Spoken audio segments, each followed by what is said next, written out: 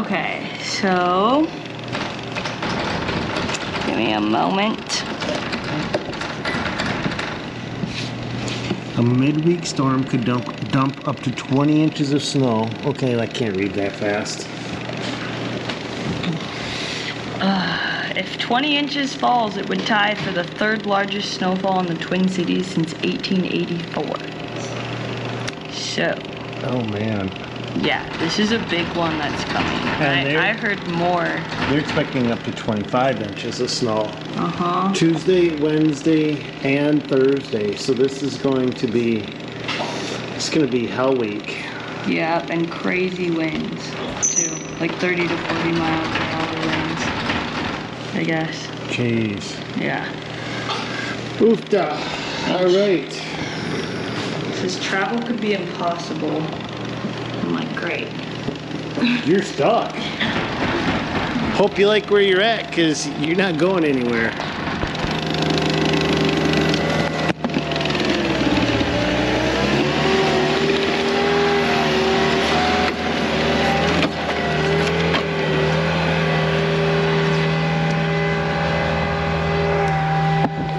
Okay, so it's February 22nd and mm-hmm. And I am plowing snow again Yeah. on our anniversary. Yep. Yeah. We're gonna have to do something like out of here together Fun. sometime.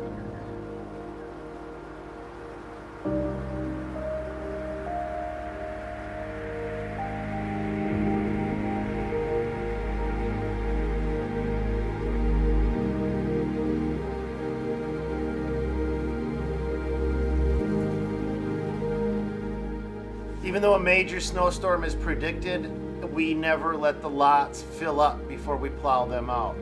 We constantly shave them down the entire time a snowstorm comes through. So if a system is going to last for two or three days, we'll be out there for two or three days before we do the final cleanup. This gives cars and people the ability to come in and out of the lots without struggling.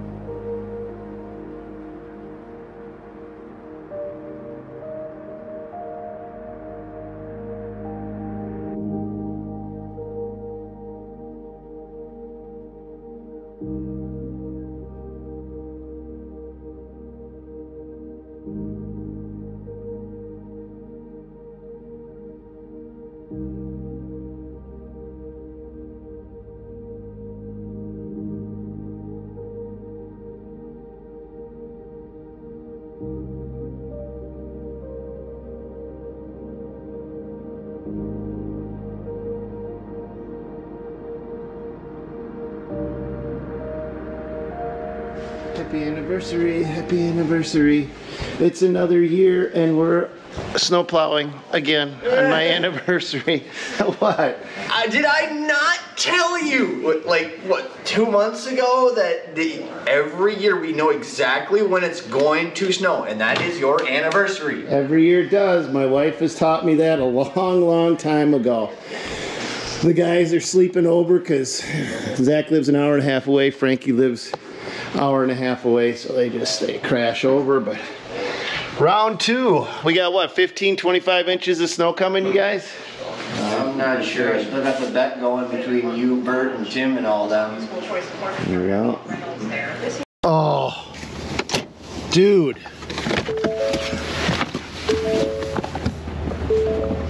You guys see what I see?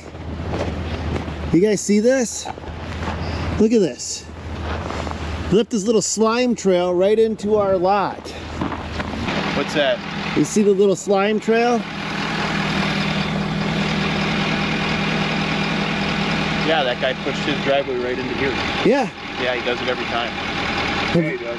every time.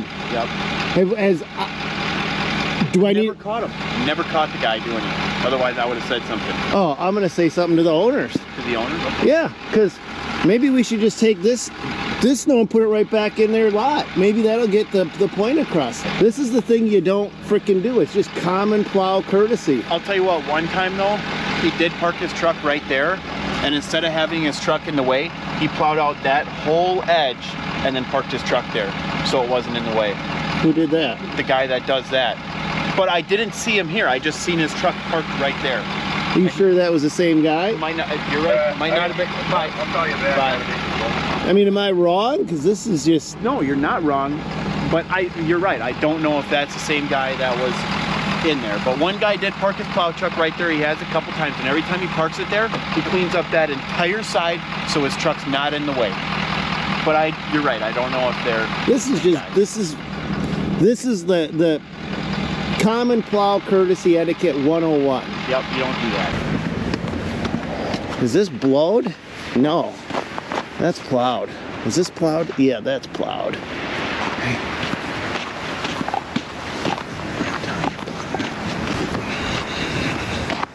Yeah, maybe I'm going overboard, but I don't care.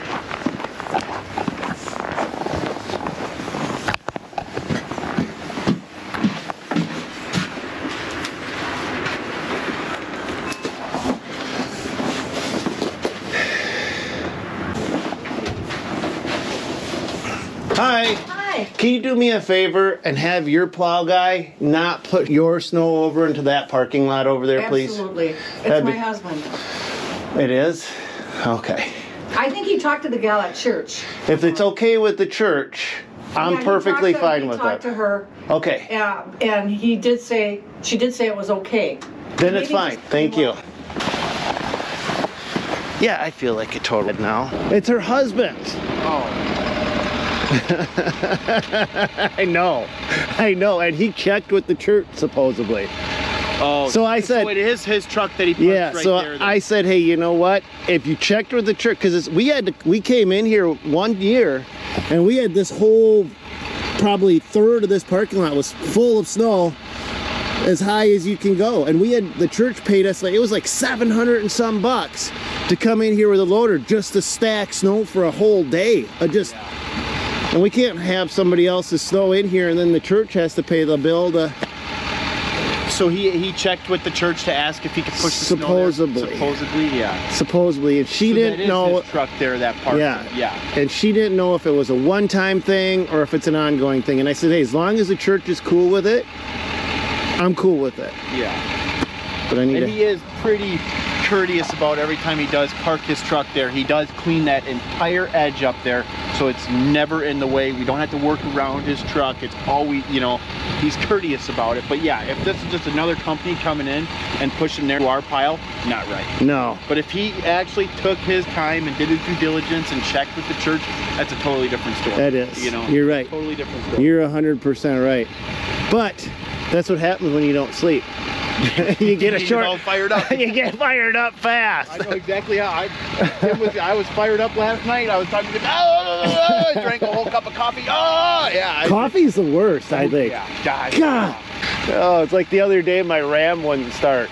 The pickup truck found out something's wrong with my ignition, and I couldn't get it to fire. And we had you know, another one of these deals where you need it, it won't fire because it's a freaking Ram. I just started beating on the steering wheel. Yeah, yeah, I was just start, and then I turned the key and vroom, I'm like, holy, that worked. All right, I got to see where the Arctic boys are. Ooh, what's coming up the hill? Ah, Look at that. They're, oh, uh, oh, they're, they're trying to come in the skinny way.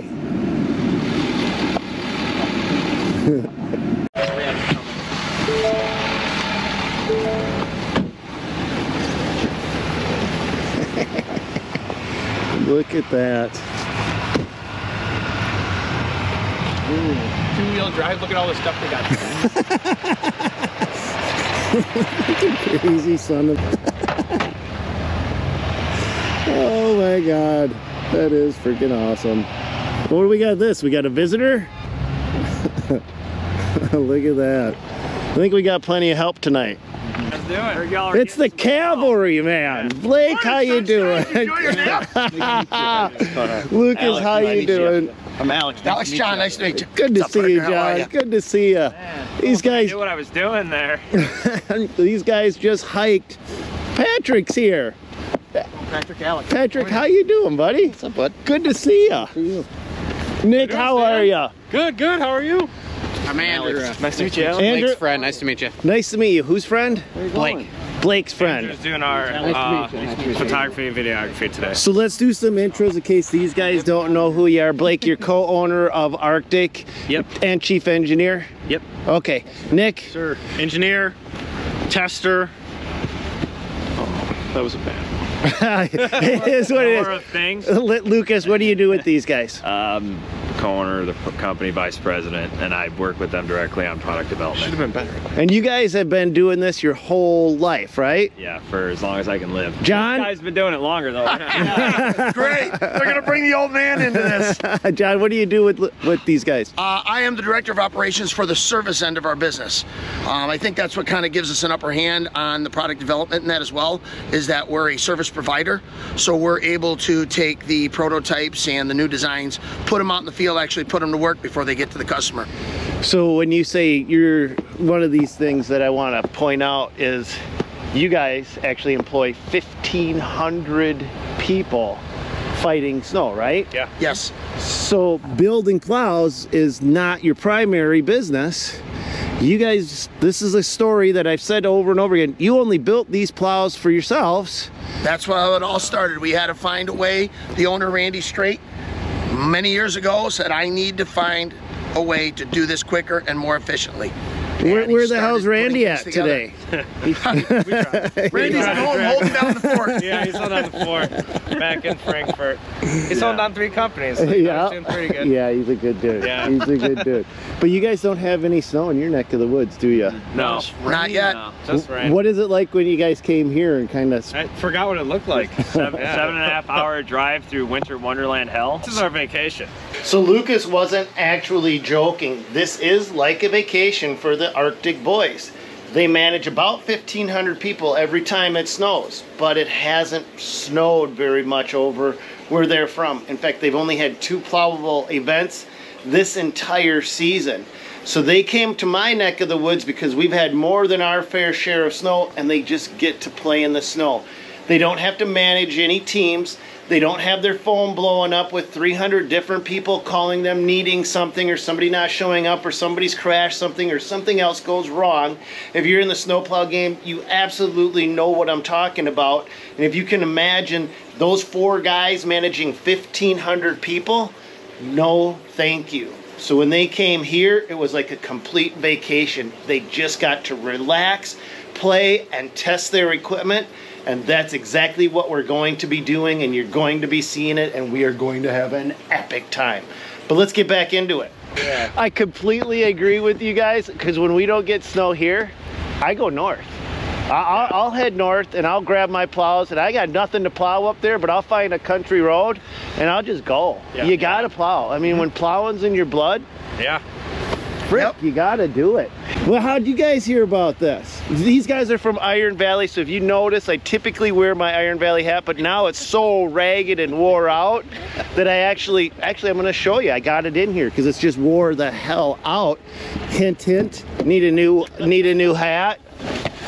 Look at this thing. Look at this thing. It's all natty and it's got dog hair on it. Trade it in. there you We go. should probably trade that in, Stanley.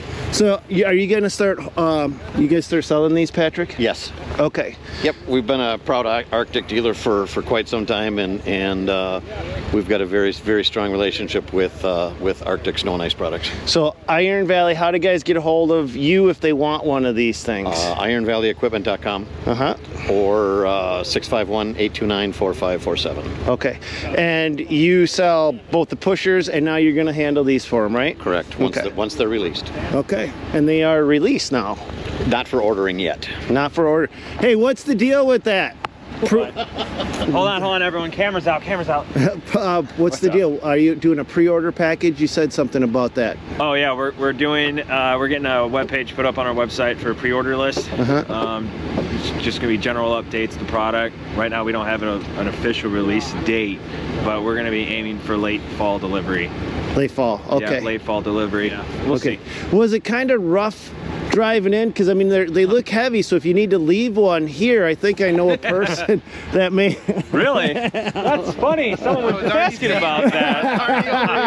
and I have 500 other people blowing up my phone right now asking for a demo in Minnesota. Somehow they all figured out I was here. Uh, we slapped one picture on the internet this morning and the phone started going crazy that we were Yep. parked all in a line at the McDonald's and here come the calls. You guys are this close, I gotta come see this thing. I'm gonna let these guys do whatever they want to do in my parking lots, as long as they keep all of my light poles standing straight up and don't knock them over. Yeah, that's why my dad wasn't allowed to come. No light pole is safe.